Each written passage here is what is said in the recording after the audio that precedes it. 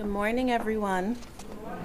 It's my pleasure to be here at the James Porter Colloquium. Um, I'd like to thank the, um, the committee for inviting me um, and allowing me to share a little bit of my research today. Um, my presentation is titled James Van Der Zee, Marcus Garvey, and Photography's Relationship to the New Negro. Um, in the summer of 1924, during a busy period in his career, James Van Der Zee became the official photographer for the Pan African leader Marcus Garvey and his organization.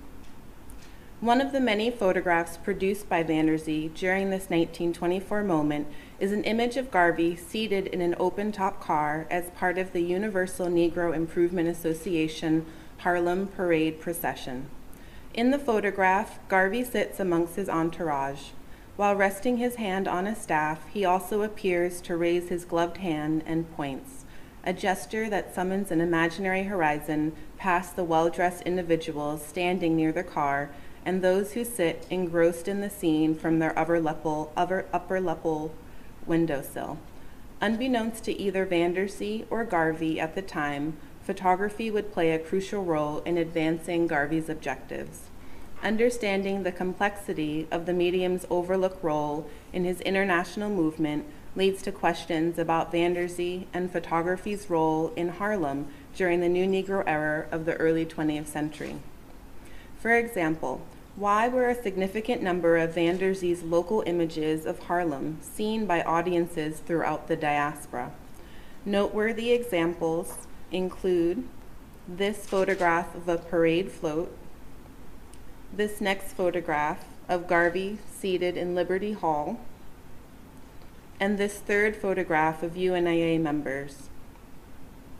More broadly, I would like to ask, how might thinking of these images as a conduit between Harlem and the larger African diaspora expand current understandings of the importance of James Van Der Zee's photography and photography more generally during the New Negro era?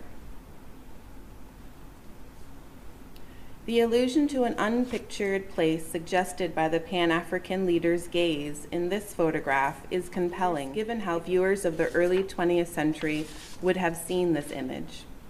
They would have experienced Van Der Zee's image through print media, and more specifically through the UNIA's newspaper, The Negro World. For example, in a series of Van Der Zee photographs arranged on a single page of a 1924 Negro World newspaper, the photograph called Marcus Garvey in a UNIA parade appears crowning the top column of the page. Like a previous Negro World spread of images by Van Der Zee from days before, this page features 15 photographs, many of which include the photographer's etched signature.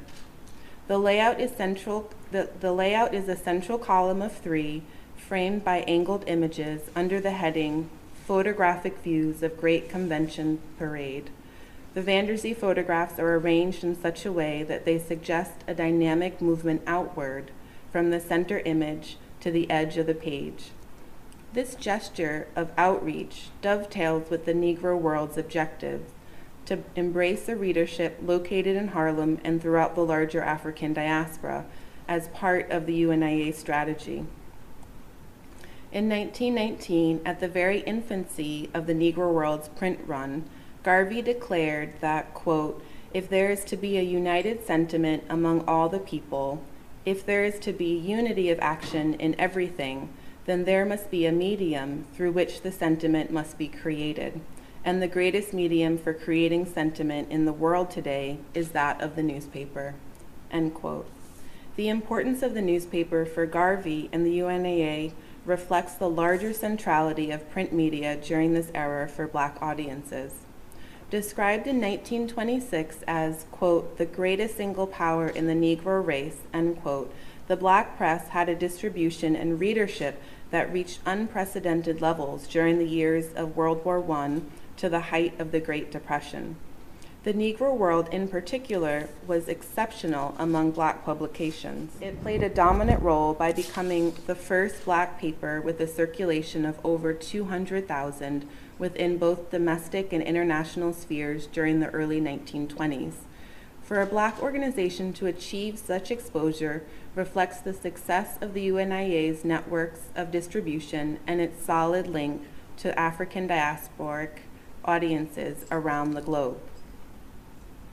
The larger stakes of Van Der Zee's photographs of Harlem appearing in this particular venue, I argue, offers a fruitful platform to illustrate photography's role as central to the New Negro movement by way of its global circulation and reproduction. Scholars have turned to a range of strategies to articulate the link between the New Negro era, photography, and James Van Der Zee. They have done so by focusing on how the prideful representations of Van Der Zee sitters radically reorient the more prevalent depictions of African Americans during early 20th century toward the ideals of advancement and respect espoused by the leaders from the era.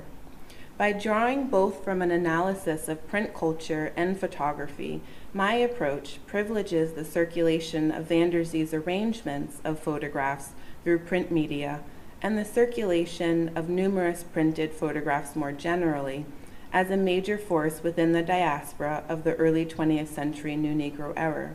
For me, the significance of this approach comes into view through the very forms and varied circumstances through which photographs, both materially and visually, circulate and inform different audiences. Looking at the African American photographer James Van Der Zee and the Jamaican figure Garvey together bring into full relief how the international circulation of photography enabled people from all around the world to witness formative visual narratives of the new Negro era. Garvey often thought in pictures. This grand narrative he created and proselytized through his organization had a strong visual component. For example, he told stories of visiting UNIA members' homes and disappointedly noticing pictures of Jesus that were not the black men with woolly hair he preferred to see. He believed that indications of racial achievement would take the form of a black Napoleon, quote, whose picture we can hang in the Hall of Fame in Africa, end quote. On other occasions, he spoke directly to his UNIA audience about not only what they would see on the wall, but also how they would be the featured representations. In a 1920 address, he insisted to his members that, quote, in the years to come, your picture will be hanging in the Gallery of Africa, and your children will be able to see what you did. End quote. Being seen by others in an ennobling light would become just as important as being visually represented.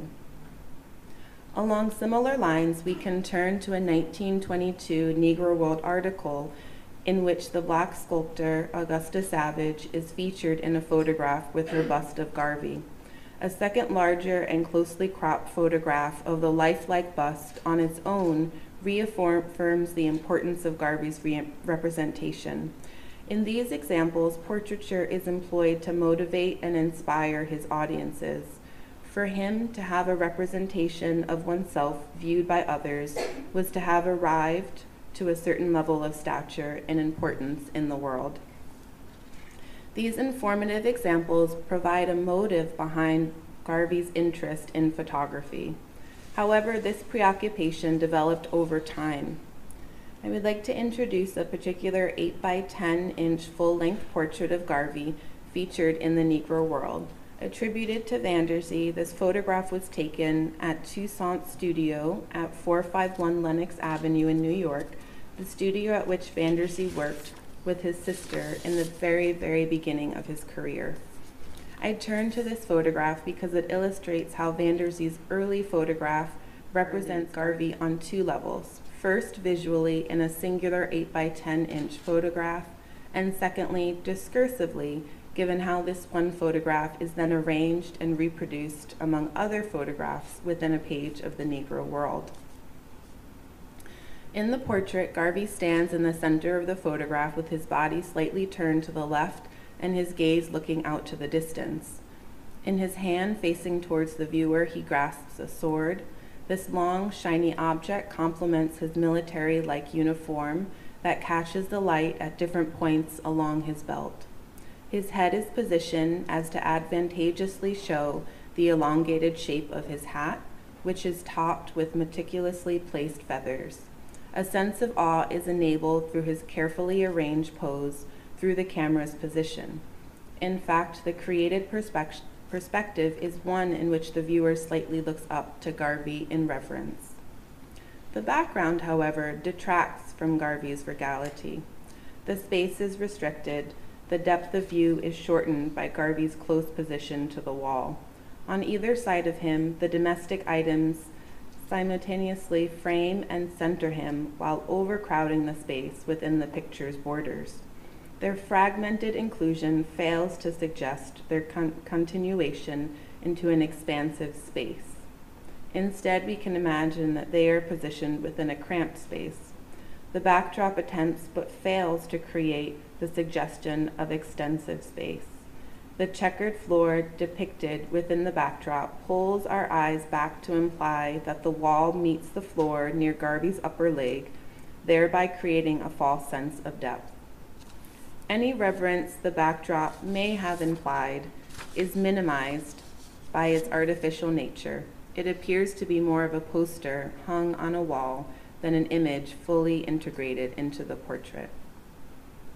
Although parts of the photograph's composition seem counterproductive to elevating Garvey's stature, as a reproduction within the Negro World newspaper, this photograph appeared very differently. In a 1921 edition, the photograph was featured among 11 individual portrait, portraits of prominent UNIA members. Its upper central position at the top of the middle row is telling of Garvey's status, and the full length composition of his portrait is distinct in comparison to the predominantly closely cropped other portraits.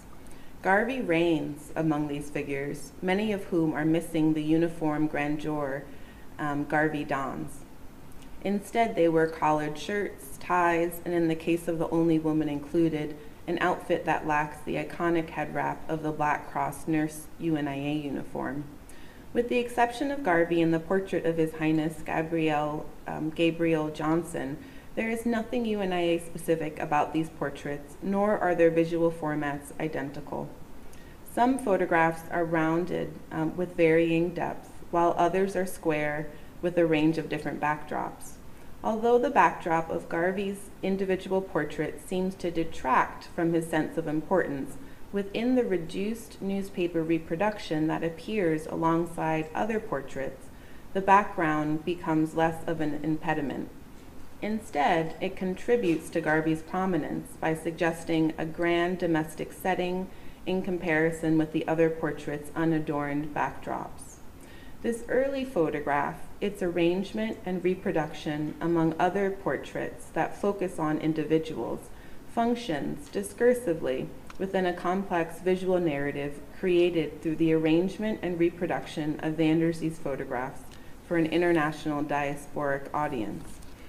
As this short presentation has shown, a consideration of photography and how it operated through its circulation and reproduction during this new Negro moment enables new inquiries into how and why Van Der Zee's Harlem photographs became significant beyond Harlem and beyond his studio alone.